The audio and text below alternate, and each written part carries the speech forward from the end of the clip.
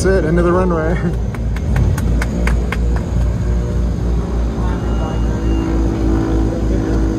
Welcome to Lupla.